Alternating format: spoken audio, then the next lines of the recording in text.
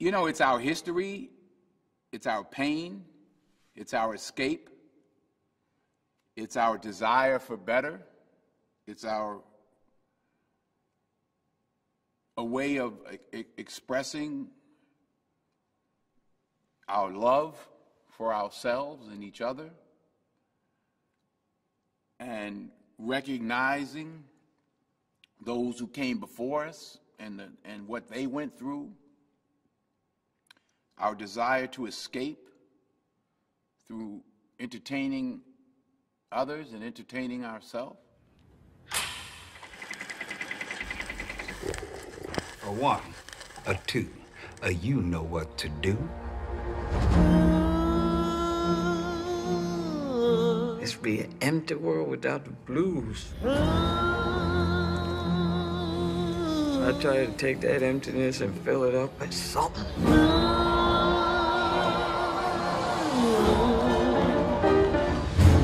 They want to call me Mother Blues. That's all right with me. It don't hurt none.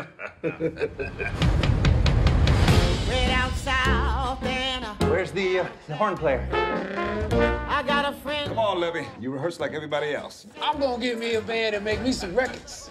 I knows how to play real music, not this jug band shit. You call that playing music? I know what I'm doing. Go on and fire me, I don't care. When I got there, they began get the people's attention. That's when you and Slow Drag come in with the rhythm part. Me and Cutler play on the break.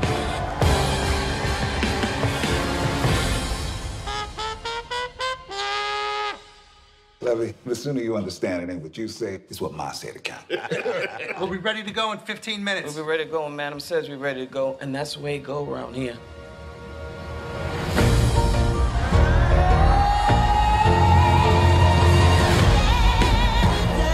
Records are gonna be hits. Please come home to me. Every colored man in the world got to do his part. I'm gonna tell the white man just what he can do.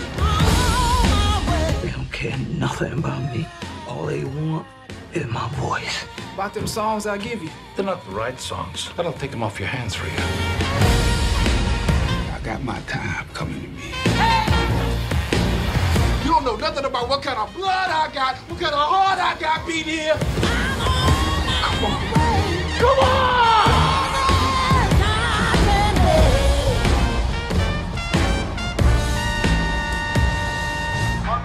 We got that boy. Good session, Mom. We got ourselves a winner. Yeah, you did.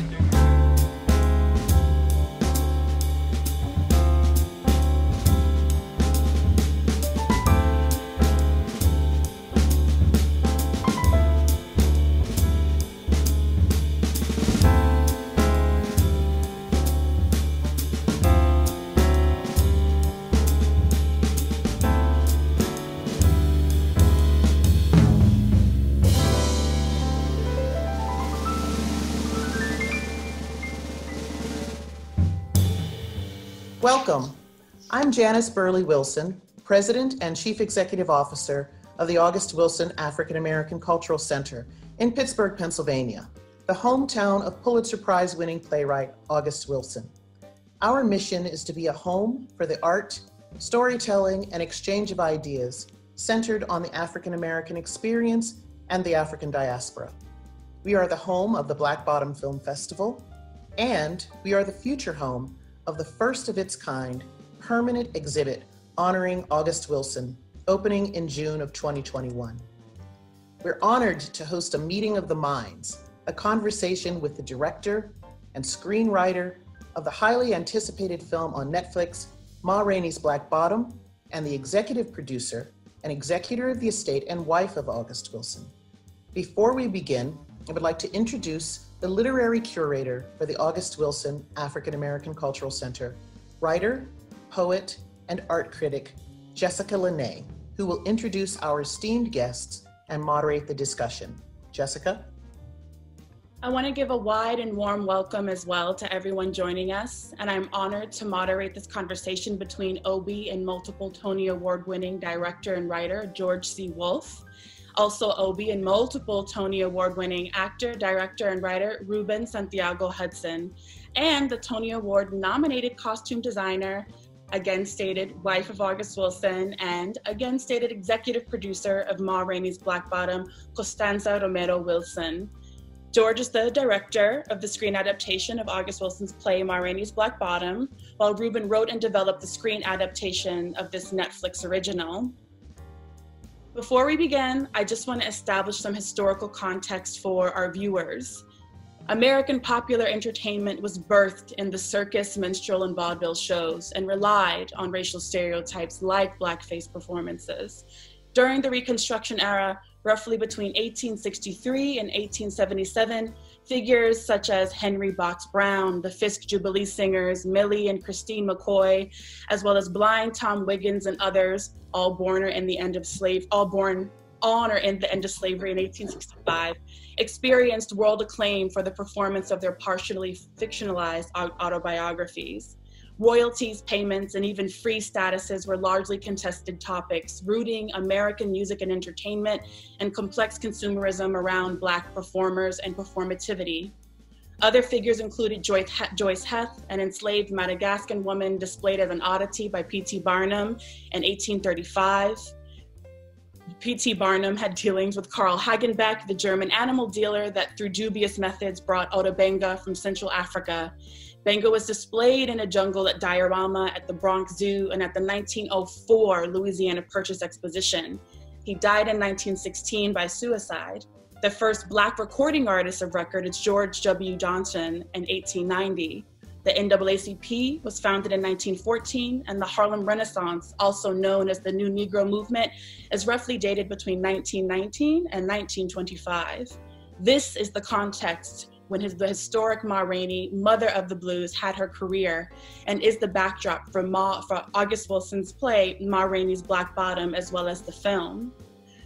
Antonin Dvorak, a Czech composer who traveled to America to study the music, made the following statement in 1893 In the Negro melodies of America, I discover all that is needed for a great and noble school of music. They are pathetic, tender, passionate, melancholy, solemn, religious, bold, merry, gay, or what you will. It is music that suits itself to any mood of purpose. There is nothing in the whole range of composition that cannot be supplied with themes from this source. The American musician understands these tunes and themes. I want to extend another honorable welcome to George C. Wolfe, Ruben Santiago Hudson, and Constanza Romero Wilson. And I want to thank you all for talking with me. So, this is my first question.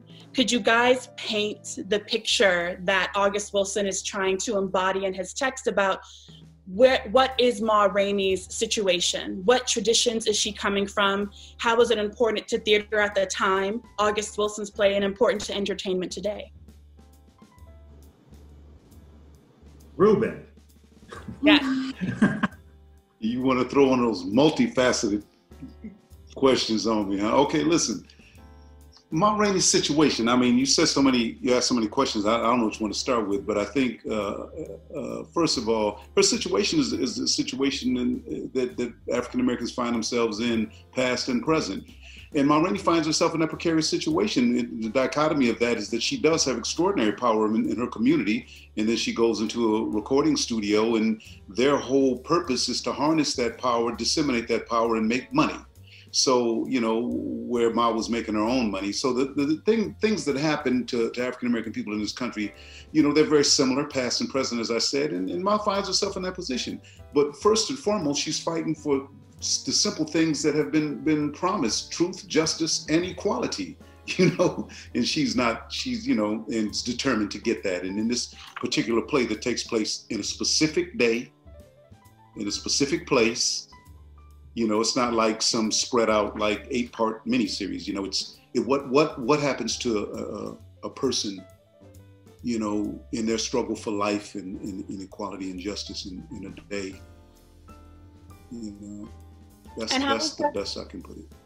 And how is that similar to today? Because the thing that struck me about the movie in particular, as well as the play, is there's a lot about attempting to harness Black talent and Black skill without necessarily giving the proper remuneration to those bodies that are providing national entertainment and now global entertainment.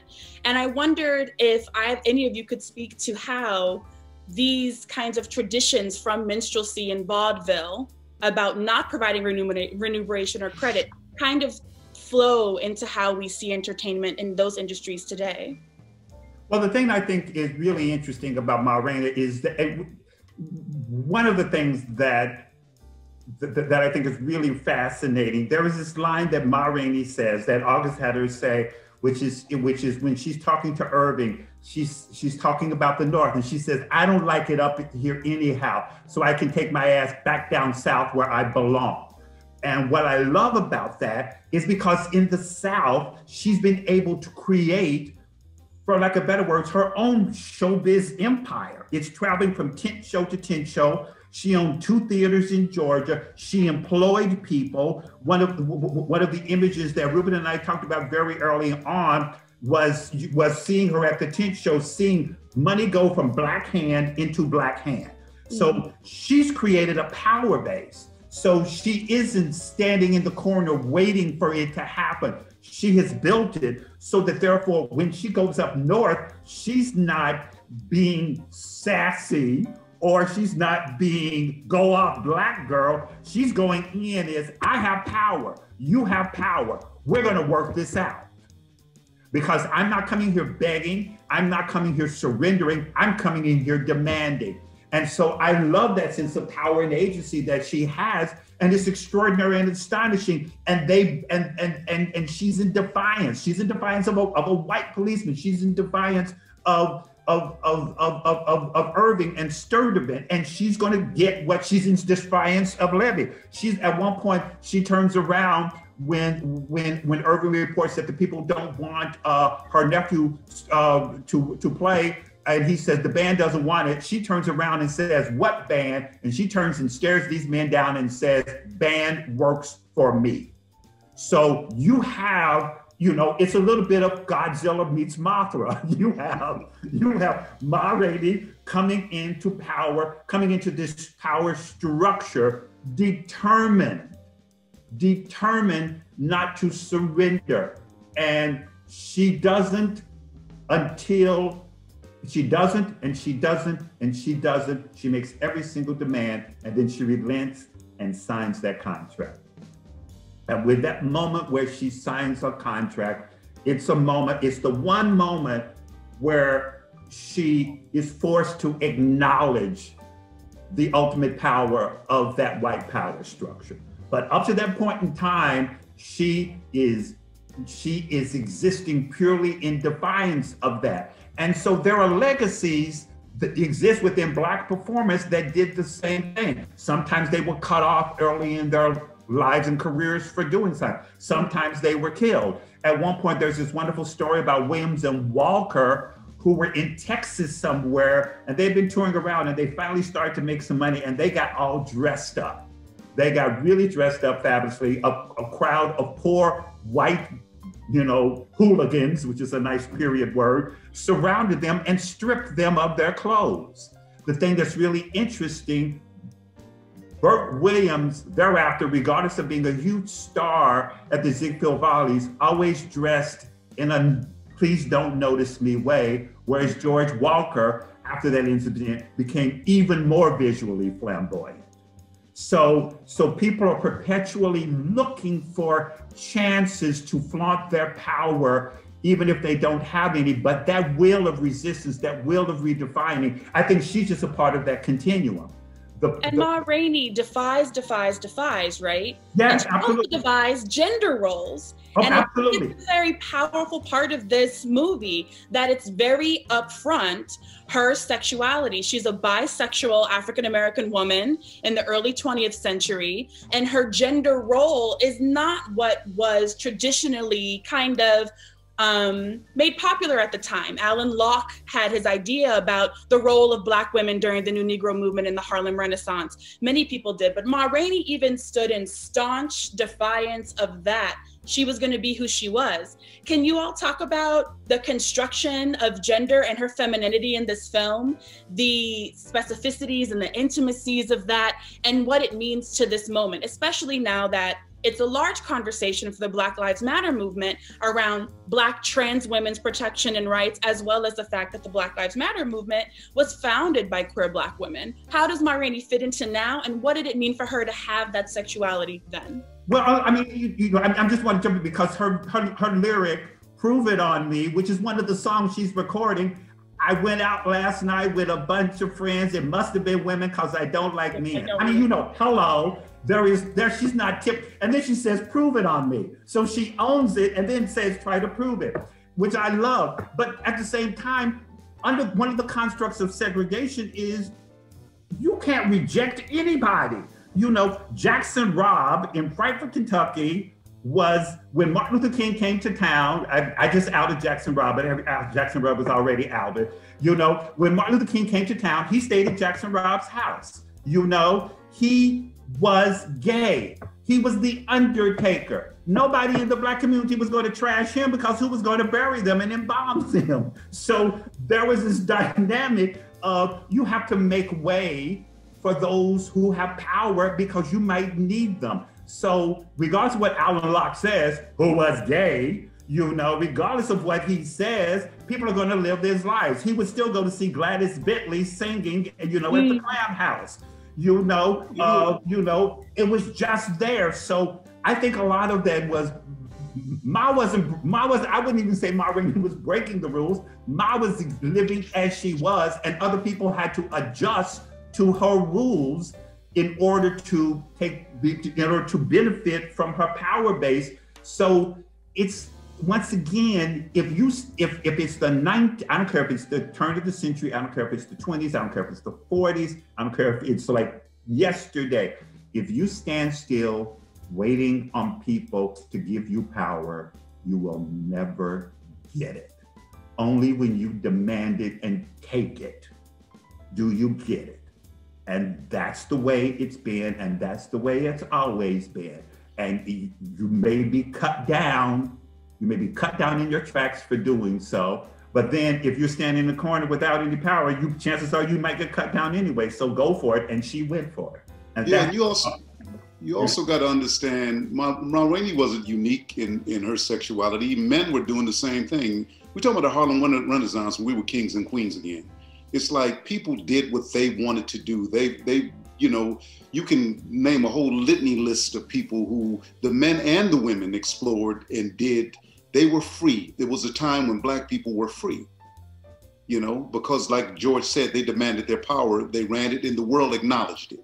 Then it was, you know, taken away again and, and destroyed again, usurped again, and now we're trying to get that power way back here. We, we, we got it in the 60s with the riots, and it take big drastic things to happen for people to acknowledge and notice, you know, and listen, you know, to to to our demands, people of color's demands, and we just step out and take it. But now we back into that place again. But Ma Rainey was doing what Ma wanted to do, and she said Ma gonna do what she wanted to do. And and and Cutler told him, if Ma gonna do what Ma want to do, is what she say. and that's and she's one of them people that understood the thing about us as a people until we really know who our worth and really know our power we have no leverage so you, you the, the key to leverage is knowing that you have options because you have power. Yeah. And and I, another thing i want to say is that um, you know august was writing uh, in the early 80s um, and you know actually was writing since he was a baby but um, you know, he began writing this play in the late 70s, early 80s, where, um, you know, he may not have known as much about, you know, uh, the queer community or about gay people, but I just want to, you know, put a spotlight for a minute on the fact that he wrote the truth. Mm-hmm. And he listened to the music, you know, prove it on me, and he read all there was to read about Ma Rainey, and he wasn't going to think he was not going to shine another light on Ma Rainey except the truth that he knew, mm-hmm. and he gave all of that all the power in the world, and uh, you know, and, and, for that we have the incredible character of Ma Rainey, uh, with you know in, in all her glory. And so why Ma Rainey? Because Ma Rainey's Black Bottom really stands out in all of August Wilson's plays. While it is very specific in the tradition of his style, his aesthetic, and his goals as an artist and as, you know, an artist historian, it also stands kind of apart from the rest. It's one of the only plays, or I believe the only play that takes place outside of Pittsburgh. Yep but it was filmed in Pittsburgh, yay. But also, why this story? He wasn't the only, well, Ma Rainey wasn't the only woman at that time who was belting out the lyrics, who had a name for themselves. And so, why do you think he chose this particular historic figure to shine a light on? Well, she she was the mother of the blues. You know, uh, Bessie Smith uh, was called the queen of the blues so I think for, for August is just getting down to the source, you know, of, of where the blues comes from and where, um, you know, it, it's, it's like she embodies in this play the heart of the blues. And she speaks about the blues, the reason to get up in, you know, the reason to get up in the morning. And um, so she's not just this incredibly you know, well, a famous person for her time, but um, she's also embodying the source of the blues. And her arc through the play speaks about the blues. You know, her arc of, you know, empowering herself and yet being somebody that, you know, at the end of the play, her voice is inside this record and she's discarded.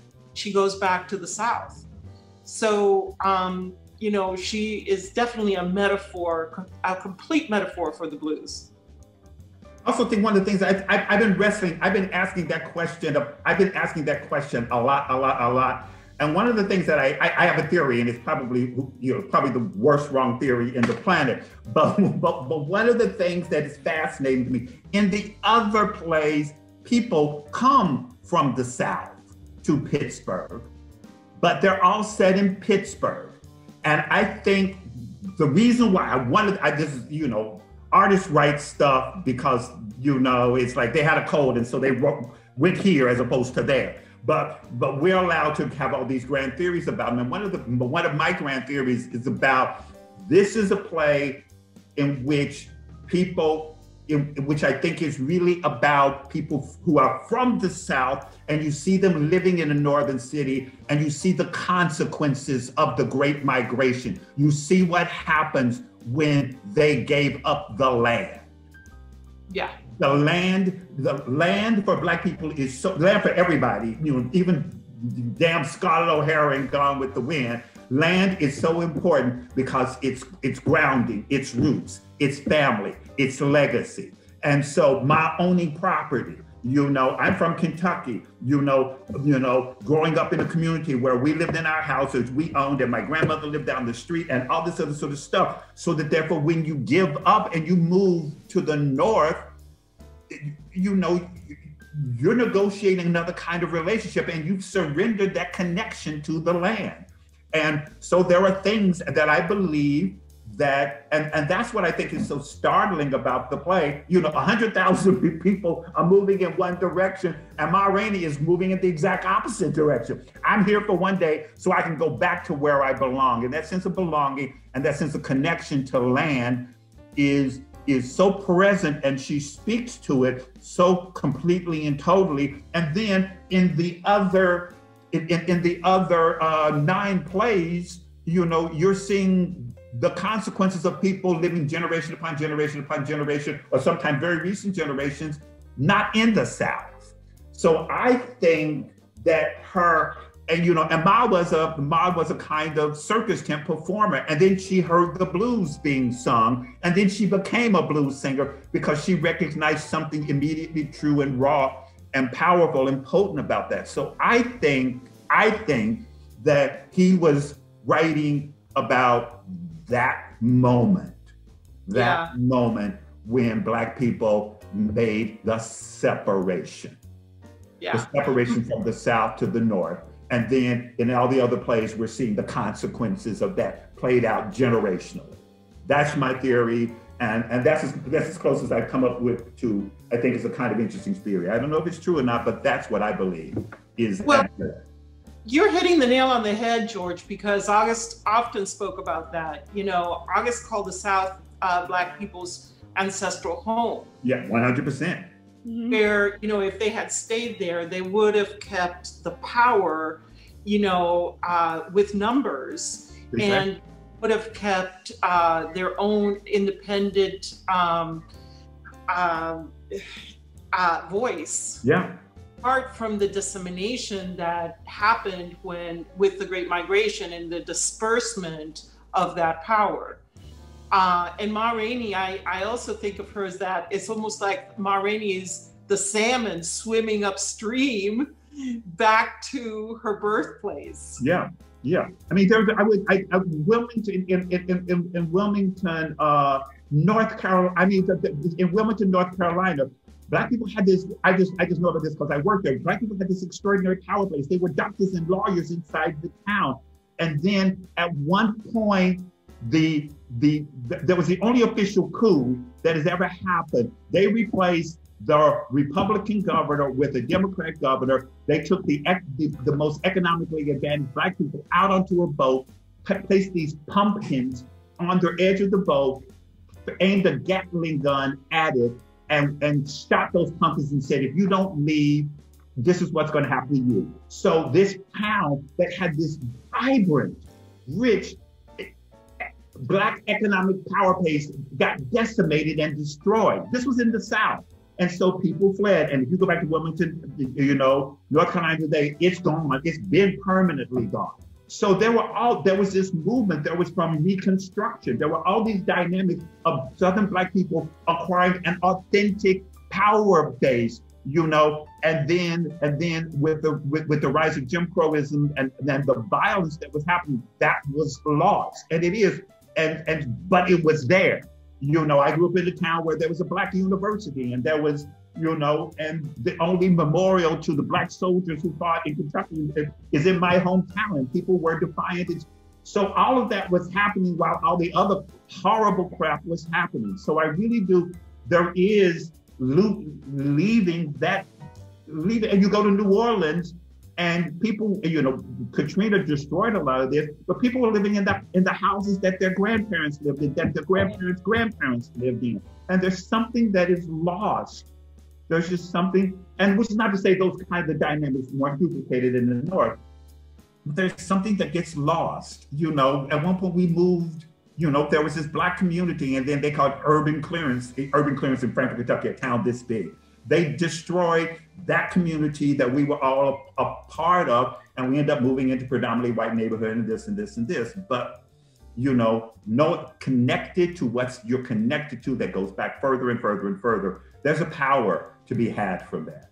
And I even see this argument happening when Levee is referring to jug band music and he's trying to talk about, you know, ragtime. And he's often trying to use the music to talk about a South that's expendable and the opportunities of the North. And he kind of uses Toledo as a symbol. He picks on 100%. Toledo as a character a lot as being representative of that kind of, you know, like Southern jug band. He refers to it as like tent show music. Yeah. But also at the beginning, there's a very lovely opening where you see, and I don't know if I'm allowed to talk about this specifically, where you see these two youth running through this dark forest. And then there's the sound of the dogs. And so there's this very tight but beautiful time space where you see history passing in a blink of an eye. Because Yeah. at first, what seems like fleeing from slavery or persecution ends up being Black youth running to a performance to see their Exactly. stories told.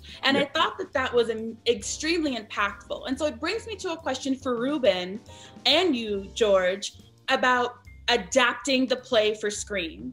When we see some adaptations of plays or even novels, we see that people are having a hard time, but this is so seamless. Not much of the text is redacted or changed. And then the scenes that are added in to kind of pass from point to point in the story are so befitting of the psychological experiences of the characters that are in them. So, can you all talk about your experience working with August Wilson throughout your lives and lives and throughout with his plays throughout your careers and also talk about what it's like to adapt something so powerful from play to screen well ruben can speak about because he you know he you know he he's been in 857 plays of august wilson you know so he can speak he can speak to that legacy so ruben take it away oh I've been struggling with my internet, so I've been moving in different locations. But um,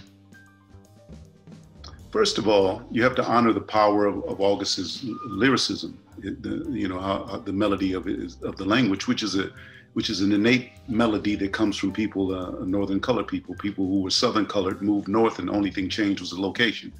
So uh, all their ways, their style, their way of talking, the way of doing things, and like I, you know, you you have to you have to honor that strength because that's August's muscularity, the way he handles the language, the way he heard the language, and the way he writes the language.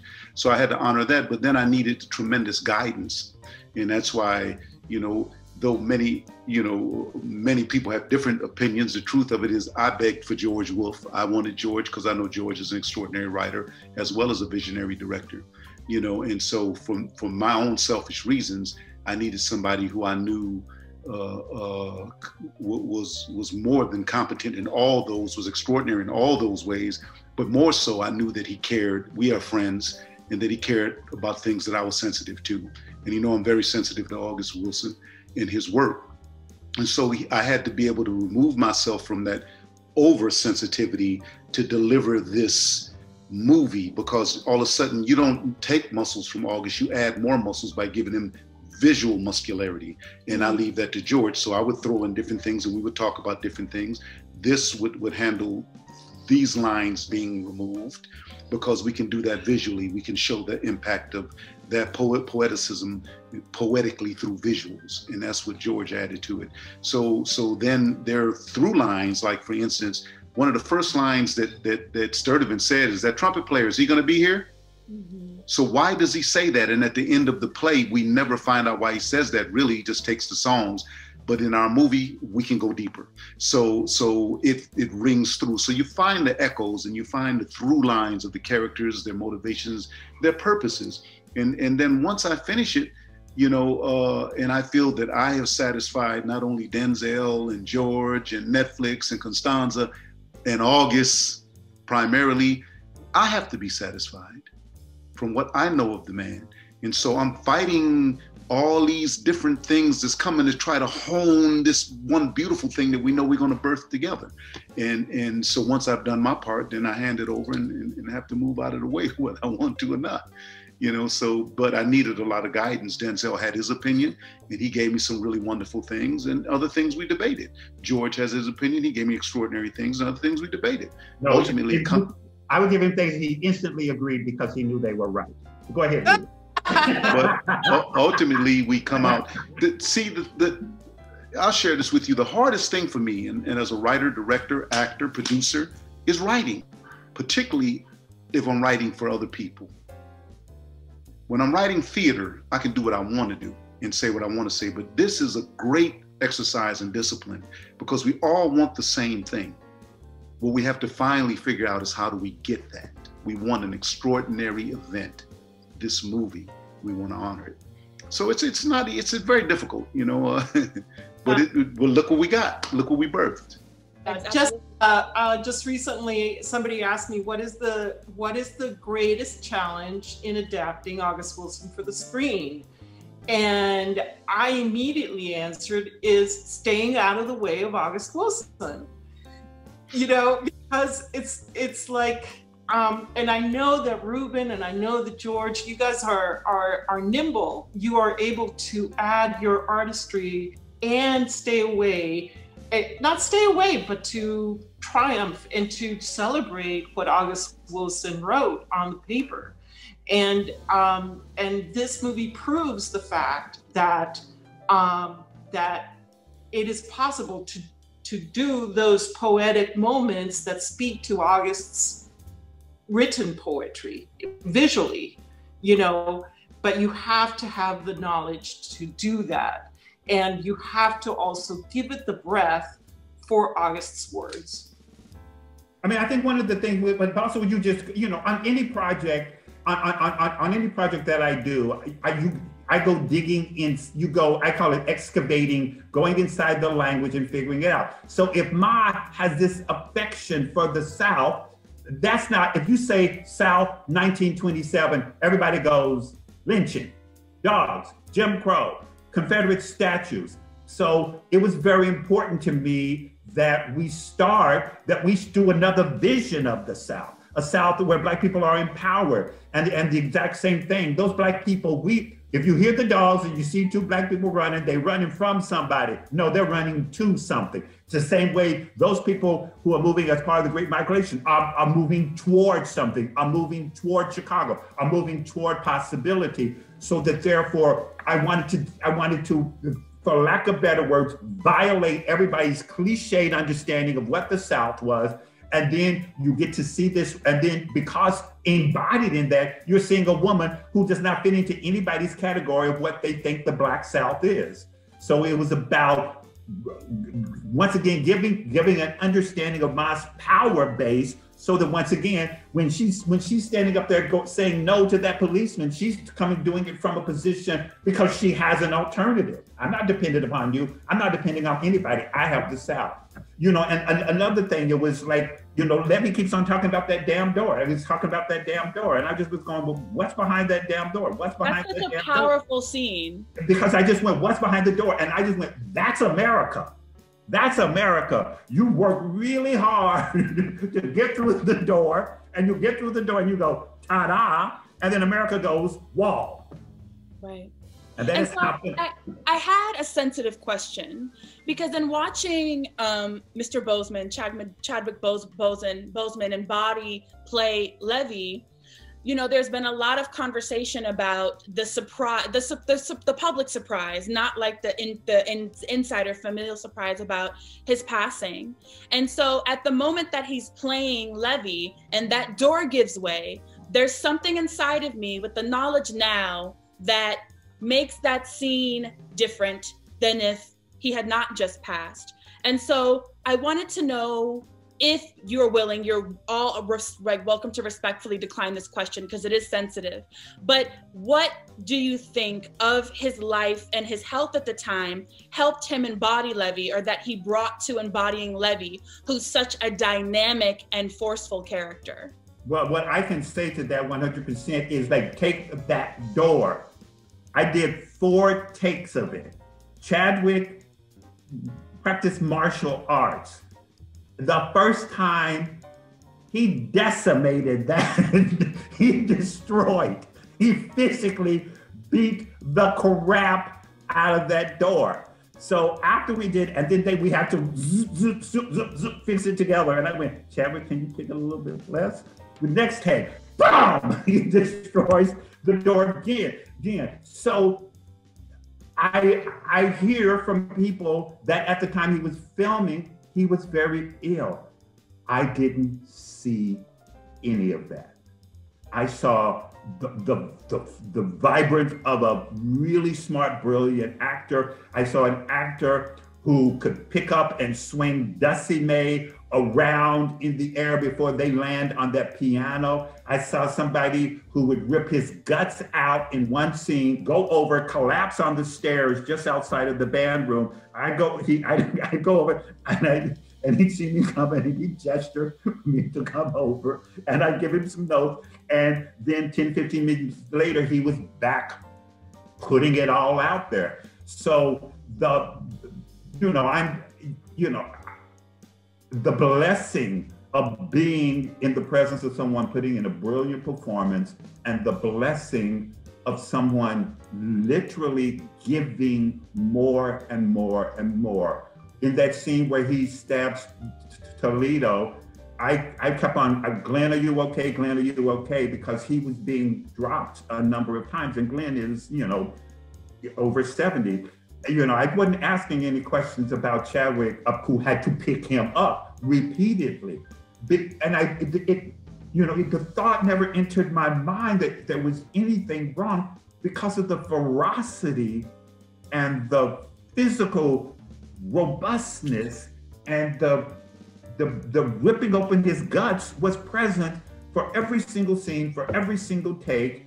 And I, I don't know. So I understand what you're saying about how it reverberates differently, but I, where I'm stuck is just the, that piece of information only magnifies my understanding of how heroic and astonishing there's it a, was there's a thing, to be on the set.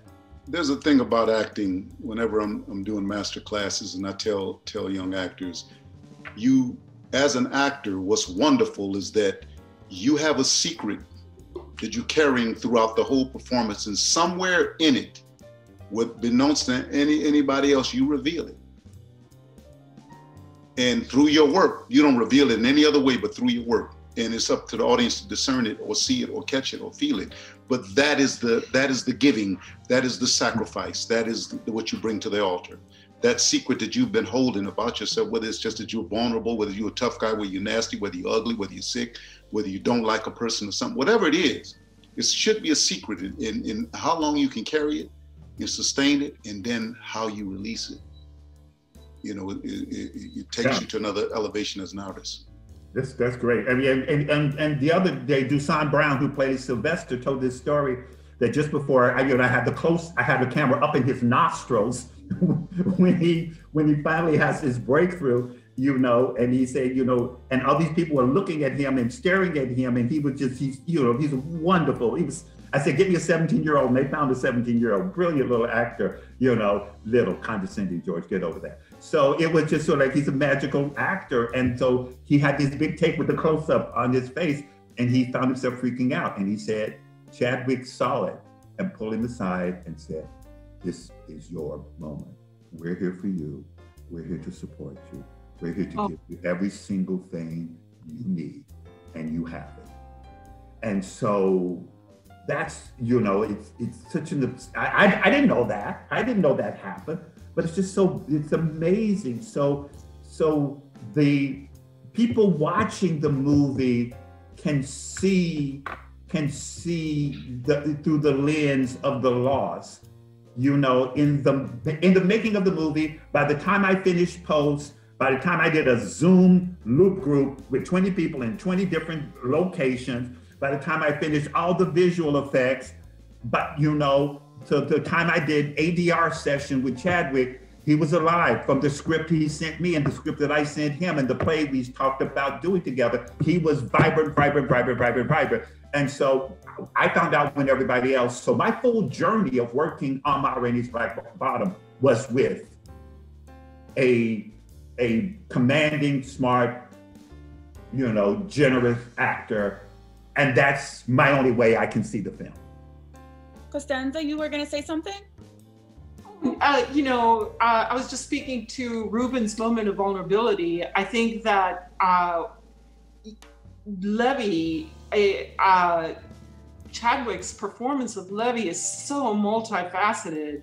You know, um, yes, he had the strength. Yes, he had the ferocity. Yes, he had the robustness. But at the same time, there is a moment that I just love is when he's telling the story about his mother yep. And about his, you know, the the the trauma. And there is this close up, George, that that you know, and you see his face and and the lights are shining in his eyes, and you see Levee as a little boy, mm-hmm. and uh, and Chadwick allows for that you know it, it, it's a moment of openness and and all the bravura in uh, in Levee goes away.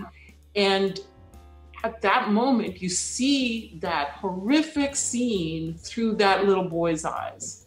And um, oh it just breaks my you know i'm just getting verklempt right now thinking about it because even looking remembering viola's expression. Janis, Janis and I were speaking about this at the end where she clenches her fist and she goes, Bring me my money.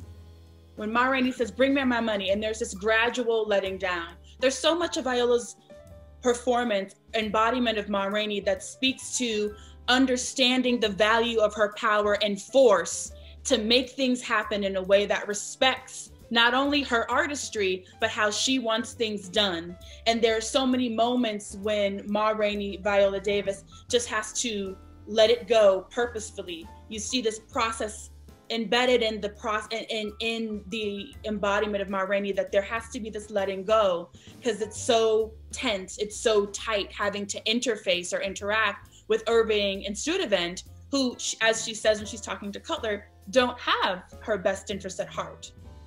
But also, she's. It's also one of the things that one one of the things that that that that, that we talked about and that Viola talked about is the exhaustion the exhaustion of going to war every single day of your existence.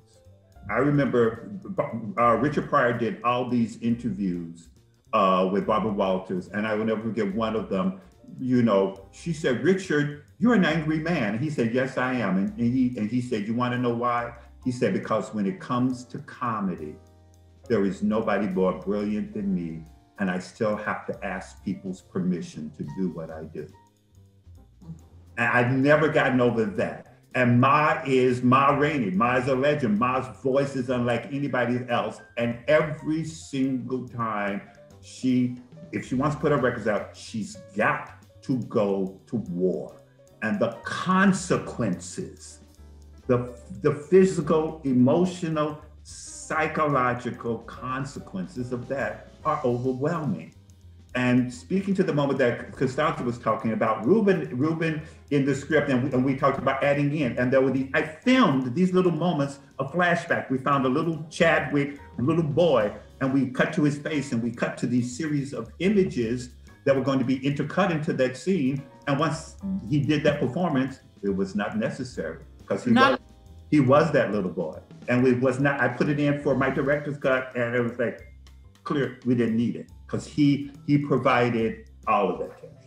Yeah. And so I also have a question about aesthetics. At the beginning, we have this technique where we see um, newspaper images and then they come to life, or we are looking at a still and then the still comes to light. And so there's this transformation of what could only be seen in images into film because the first films that had sound came out in the 1930s. Yeah. And so there's this bringing to life of all of this ephemera around Black life. And then there's this coming together of aesthetics. You can see the aesthetics a little bit of Gordon Parks. You can see it from the exposition photography that W.E.B. Du, du Bois curated and showing women at work or showing Black men in college. And so there's this mixture that comes together to create an atmosphere and a time in the movie. Could you speak about that? Well, it was very interesting because there is, you know, there was, you know, you know, there were early, you know, on on the on, you know, there there's, it's did you discover these things? There are a total, there are a total, literally, of seven images of Ma Rainey on the planet. Period. That's all there is seven images of her. The 857 images of Bessie Smith, of I think just seven images of her. And so when when one goes looking for for for the Great Migration, you begin to find stuff, photographs in the mid 30s. Nothing, next to nothing on, you know, in the 20s. And so I had people searching and searching and searching. And those so those images so, you know, were recreations of, and then we were able to find a few 1930s, so we cheated a little bit and altered the thing. But I, I was, I one, one of the things that I visually, I didn't want it to be, I, you know, it's it's like I didn't want it to be nostalgia. I didn't want it to be, you know, you know, because it's we're seeing it unfold in the moment. We're seeing it unfold in the moment in that great migration thing, and also you know, you know, I found this incredibly striking photograph of these women rolling cigarettes. Who knew? In the, the 1920s, one of the main factory jobs that black women had were rolling cigarettes in Chicago. I went, well, there's no noise value in that because I'm trying to reveal the elevator train. So I said, okay, we ain't gonna have them roll cigarettes. We're gonna have them at sewing machines. So it just becomes, and then when we were filming in Pittsburgh, there's this oh God, there's this steel mill that's connected to a black section that's just outside of Pittsburgh proper. And and it's the town is almost dried up. I shouldn't say this thing, but you, well, you know what? You're from there. What's it called? Carrie furnace, the furnace, something furnace. Yes. And coke oven, the blast furnace, the blast furnace, the coke oven. Furnace. Yeah, and and this guy who gave the tour said that six days a week, black men would be working in those spaces, and there would be 300 degrees, and so it's 300 degrees, and then and, and and so I just wanted to just so to capture these moments of work, whereas once again it's no longer you know it's not you're not long, longer under the lash, but you're under the heat. And, and there's a and there's a dehumanizing you know equation of it because everybody's doing the same thing and you have to do it and do it and do it. So it was it was just about trying to give as varied a portrait as one possibly could you know, you then you go into the colored hotel and you see black people having the most fabulous time in the world, and then you go somewhere else and they're not. So, and, and you know, because you know, it, because it, you know, the Great Migration wasn't for everyone. A lot of people, black people, ended up as leftovers, as Toledo speaks to. What so I just wanted to try to create as varied a, a portrait of Chicago and the possibilities and the dead ends that black people faced in 1927 as one possibly can so that you're understanding the context of why Ma is like she is and while Levee is like he is because he believes in the possibility of Chicago and she's smart enough to know that doesn't happen for everybody because nobody and and and, and what you said earlier him denigrating him denigrating Toledo and his shoes you know and everything about him is him creating a a rupture from that and in creating that rupture and embracing success, it will be a salve over the pain of, of, of, to solve the pain of that which he witnessed when he was too young to process. But success doesn't solve anything other than success. Ruben, you you you. I'm just still I'm still here thinking about what, what George is talking about having a little boy and, and and realizing through through that monologue it went through a whole lot of things. Initially, when I wrote the monologue, I saw it all through Levee's eyes. I didn't have anything in it. Then I got one person over here saying, open it up some. And I got another person saying, don't open it up some. So open up a little bit. I went to hands. I got a hand theme running through the whole thing. If you ever really pay attention to it from the beginning, the hands, money, the hands of the white man with the machine, you know, and it goes hands down. And, and I had hands in that, just hands, hands putting bullets on the top on the thing, hands grabbing the woman's thing. It's too much, you know, but you got to know whether it's there. But I never wrote no little boy in it. So right. I don't know, you know, so. I put it in there as director. Thank you very much. And then I took it I, out. So don't blame that on me because. Ain't listen, nobody blaming. Did people, you say, did you hear your name? People, okay, I put, I, can we be clear? I put the little boy in there and I took him out. And Ruben was flawless like and perfect and it was only the hands. Thank you, Ruben. But the, the thing, the thing, but initially, and I got the 60 scripts that I wrote, Initially, I did it all through his eyes. You, I said the camera creeping on Le- Levee's eyes. But the, the thing is, is is is what you got to be careful of. And as they move forward with these next eight movies, and they got a lot of ideas. Mm-hmm. This person can write it. That person can write it. This person can direct it. That person is is still is it, you know they will find out that it ain't that easy. What George and I accomplished here together as a, as you know as a team, the sensitivities, uh, uh, people who actually knew the work very well, because it's wonderful writers in Hollywood and it's wonderful directors, but this is a specific type of work. It's honoring a specific people. Like George talks about the, the steel plant. Listen, 300 degrees is when they drop that. I'm from Lackawanna, New York, which, and spent every summer of my life in Clairton, Pennsylvania, mm-hmm. up until I was 18 years old. And when I woke up in Lackawanna, I looked around and three sides I had I had uh, uh, smokestacks from steel plant. When I went to my grandma's in Clairton, you know, I had three side smokestacks.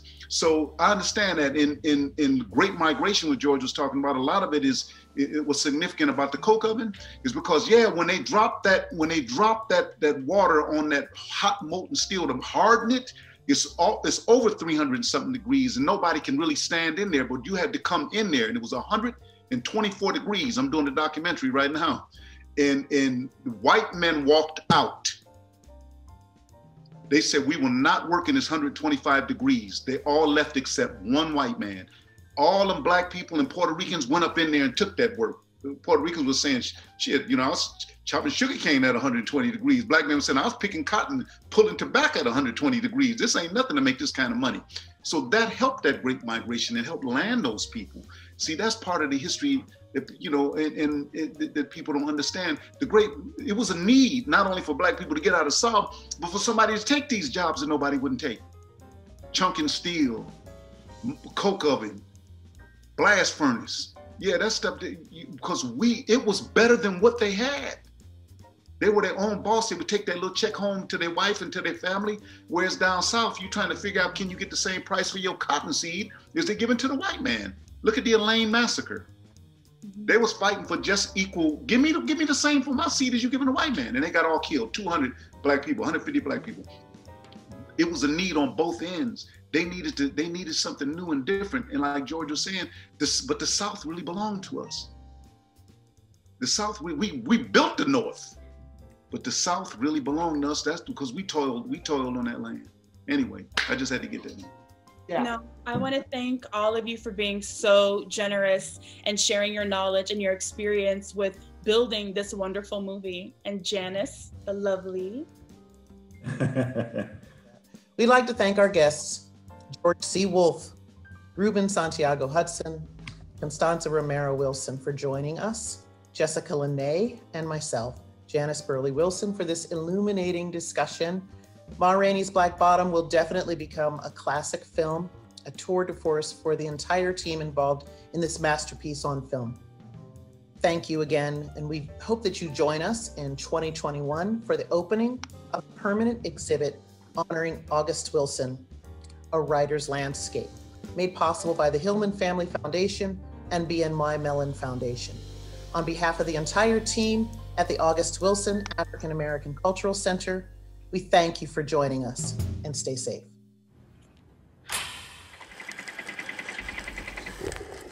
A one, a two, a you know what to do.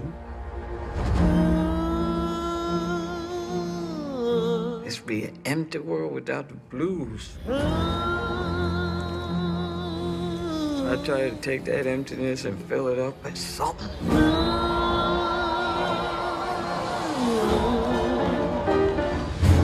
If they want to call me Mother Blues, that's all right with me. It don't hurt none.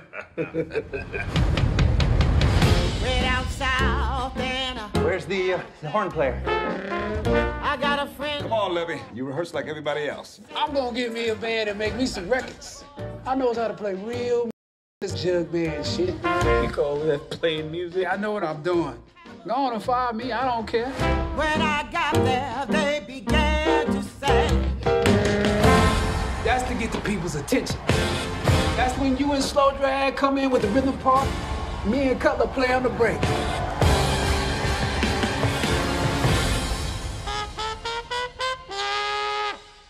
Levee, the sooner you understand it ain't what you say, it's what Ma said to count. we'll be ready to go in 15 minutes. We'll be ready to go when Madam says we're ready to go, and that's the way it go around here.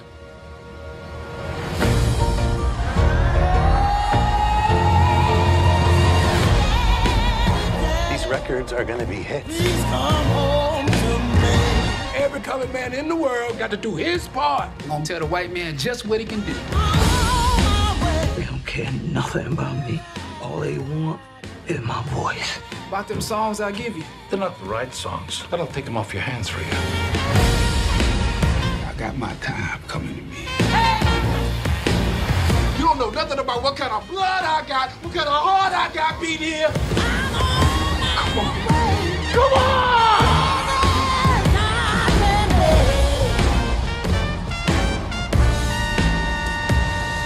Wonderful. We got that boy. Good session, Mom. We got our top winner. Oh, yeah, he did. He did.